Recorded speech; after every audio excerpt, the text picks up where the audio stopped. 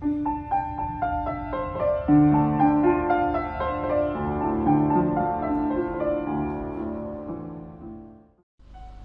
mừng các bạn đã quay trở lại với kênh audio review sách của tôi.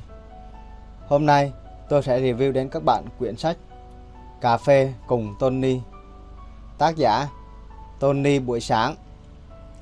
Cà phê cùng Tony là tác phẩm đầu tay của Dượng Tony, một trong những tác giả ẩn, ẩn danh nổi tiếng nhất trên mạng internet lúc bấy giờ.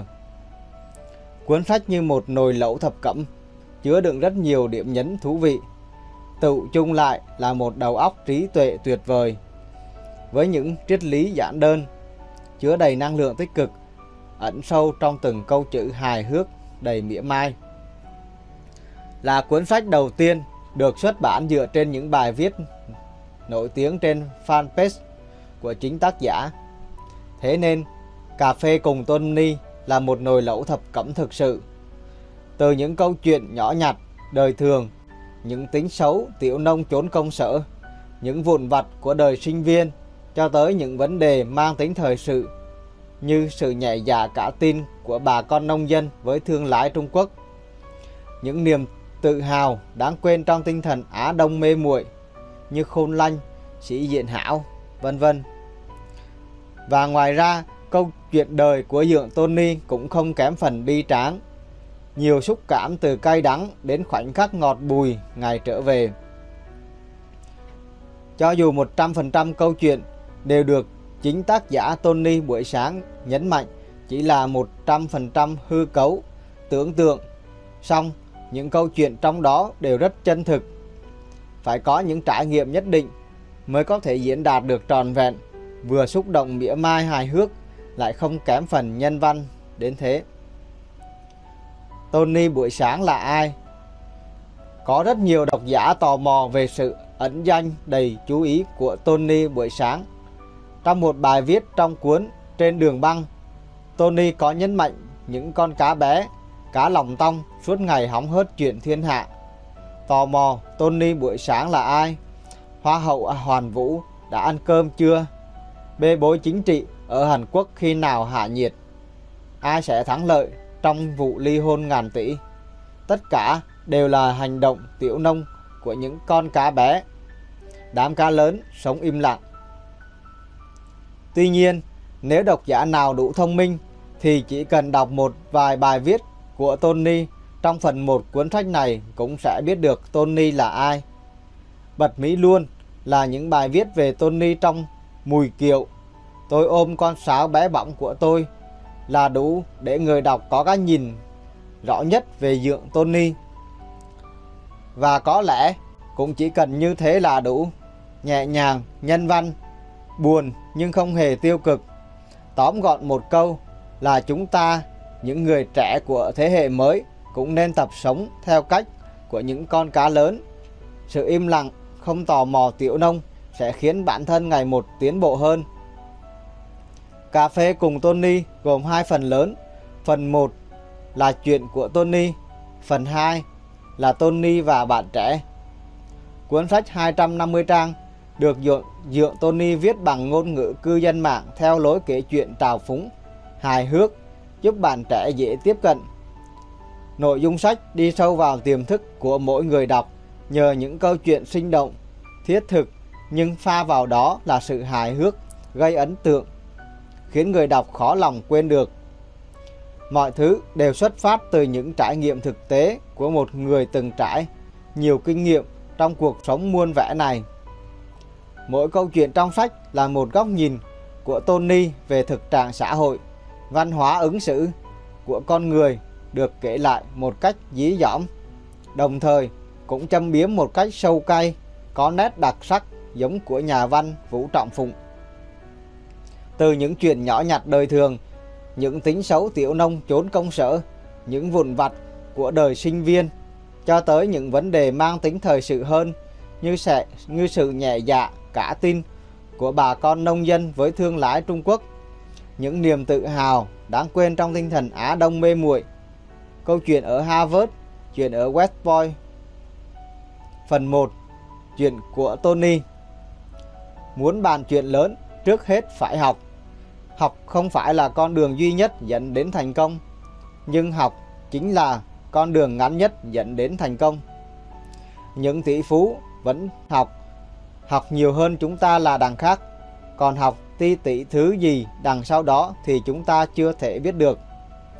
Đương nhiên, học gì thì học, việc học ngoại ngữ vẫn cần được ưu tiên hàng đầu. Ngoài thế giới, biết bao nhiêu châu lục đang chuyển mình từng ngày, mình chẳng lẽ chịu khoanh tay đứng nhìn, tự tạo cho mình bức tường kín ngăn cách với thế giới rộng lớn. Con bệnh trong thế kỷ mới Hai con bệnh được Tony đặt cho hai cái tên khá hài hước, nhưng về căn bản vẫn là lời tự sự, tâm tình và lời nhắn nhủ của tác giả đến các bạn trẻ. Bệnh Parkinson Hãy biến mình thành người chủ động, người trẻ ở nước mình thiếu tự tin khi phải đứng trước đám đông để thuyết trình về một vấn đề nào đó. Dù muốn hay không muốn, khi đi làm về, kỹ năng giao tiếp, tự tin là yếu tố then chốt quyết định mọi sự thành hay bại của một công việc. Dù trong đầu bạn có vô vàn ý tưởng, nhưng lại không thể diễn đạt nó ra ngoài thì mọi chuyện cũng khó mà thành công được. Bệnh Cocky Hãy là người tự tin thôi chứ đừng tự mãn. Bệnh này cũng không hoàn toàn xấu, cần phải thể hiện đúng lúc, đúng chỗ, đúng thời điểm. Vì nó chính là cứu cánh cho chính người trẻ chúng ta. Bàn về chuyện ăn, chơi và làm. Cố gắng thay đổi chế độ ăn uống, sinh hoạt sao cho khoa học thì khi ấy sức khỏe mới dồi dào, mới có thể làm việc hiệu quả. Bạn làm gì, công việc của bạn được hoàn thành ra sao, cấp trên luôn là người tin tưởng và hiểu rõ hơn bất kỳ ai hết. Vậy nên, cứ làm hết sức thì đương nhiên kết quả bạn nhận được sẽ xứng đáng. Tác giả khôn khéo tổng hợp các câu chuyện và viết thành chuyện của của Tony. Nhưng ai đọc qua rồi cũng có chung một nhận định, có thể là chuyện của chúng chúng ta, những thói hư tật xấu mà không chỉ người trẻ mà bất cứ ai rồi cũng sẽ gặp và đã gặp. Có lẽ đọc xong một vài chương của cuốn sách, không ai hy vọng chúng ta rồi sẽ tốt đẹp lên, sẽ tự tin, tỏa sáng, không mắc bệnh Parkinson, bệnh Cocky nữa. Nhưng ít nhất cũng sẽ hạn chế được phần nào tính tiểu nông khôn lanh vụn vặt. Phần 2. Tony và bạn trẻ Ở phần 2 của cuốn sách, tác giả tiếp tục những câu chuyện còn bỏ ngỏ ở phần 1. Tony dành nhiều nội dung hơn để bàn về chuyện ăn nói, chuyện chửi, chuyện yêu và ti tỉ kinh nghiệm và lời khuyên cho các bạn trẻ được rút ra từ những chuyện đời thường. Cho dù mỗi bài viết riêng trong từng trang sách đều kể về những câu chuyện riêng, dù là phê phán những thói hư tật xấu hay bệnh tiểu nông vụn vặt, thì sau tất cả đều được Tony nhấn mạnh, quy về một bài học duy nhất, đó là sự trung thực. Bạn đã từng có những nhược điểm mà Tony đề cập hay không? Bạn có từng phết phẩy và ma lanh hóa, có từng ganh đua với bạn bè, đồng nghiệp, có từng ngáo ngơ trong phỏng vấn tìm việc, có từng lấp liếm vì làm điều xấu, vân vân. Nếu hơn một nửa những thói hư tật xấu trên bạn chưa dính hoặc đã khắc phục thì xin chúc mừng. Còn không thì hãy tập sửa bằng cách đọc hết từng lời tâm sự. Thủ thủy của Tony Khi đã khắc phục hết được những nhược điểm căn bản kể trên, cũng là lúc những người trẻ của thời đại mới hướng đến những biển cả bao la hơn, vượt ra khỏi ao làng, tìm trốn biển rộng trời cao để vùng vẫy. Có thể nói rằng Cà phê cùng Tony của Tony buổi sáng là cuốn sách được viết ra nhằm khuyến khích văn hóa đọc. Với bạn trẻ trong thời đại văn hóa nghe nhìn đang chiếm dần ưu thế và cuốn sách được viết ra dành cho những người đang cần đến nó. Nếu bạn đang hoang mang trước những lựa chọn của bản thân, nếu bạn thiếu đi kỹ năng giao tiếp thì cuốn sách chính là thứ bạn cần. Chúng ta còn trẻ, còn tương lai tỏa sáng, đừng để thanh xuân vội vã phải hối hận. Nội dung sách không đặt ra những nguyên tắc nhất định. cũng chẳng hề có những câu thôi thúc người đọc cần làm gì. Chỉ bằng những câu chuyện hài hước nhưng không hề kém phần sâu sắc. Cà phê cùng Tony đã tạo cảm hứng thay đổi bằng phương pháp hướng chúng ta tới việc tự nhận thức thông qua những tình huống cụ thể để suy nghĩ, hành động riêng cho bản thân. Bạn đang nghe audio review sách Cà phê cùng Tony. Audio này được tài trợ bởi trang web thành cá đù.com. Chúc các bạn luôn vui vẻ. Vậy nên, mỗi bạn trẻ dù có đọc sách nhiều hay ít, làm việc văn phòng hay làm chủ, nhân viên, bán hàng hay kỹ sư kỹ thuật thì muốn đi đường dài, muốn đạt được thành tựu hơn người, trước hết phải khiến người ta tin tưởng. Mà làm được điều đó không có gì tốt hơn là phải trung thực, không lấp liếm điều xấu. Một điều thú vị thâm cay mà Tony nhấn mạnh là những kẻ nói dối, lấp liếm cứ suốt ngày phải lấp đi cái sự thật.